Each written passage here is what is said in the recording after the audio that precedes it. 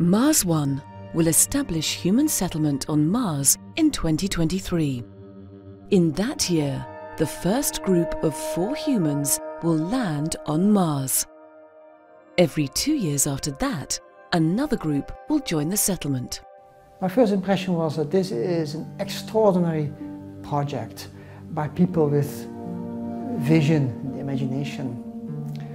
But my first reaction was, I think like anyone who will be confronted with such an idea, this will never work. But now look and listen more closely. This is really something that can be achieved. I think this might become a most spectacular media event ever, watched by everyone on the globe. 1972 was the last time that humans walked on the moon. No human has ever gone as far as Mars.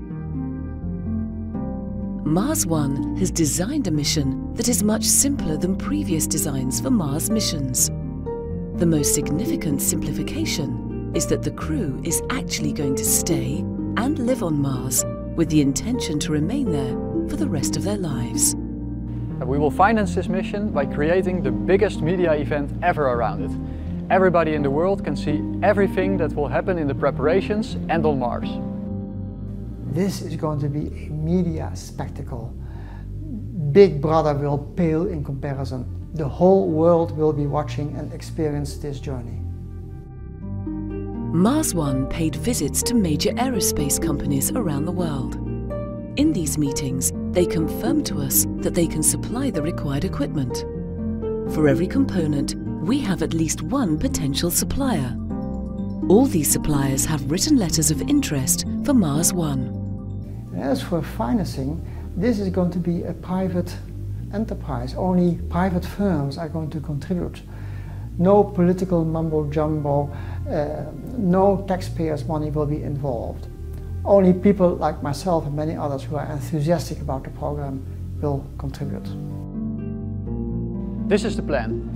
In 2016, a communication satellite and a supply mission will be sent to Mars. In 2018, a large planetary rover will be sent to Mars. It will drive around on Mars to find the best location for the settlement. In 2020, living units, life support units, a rover and more supplies will be sent to Mars.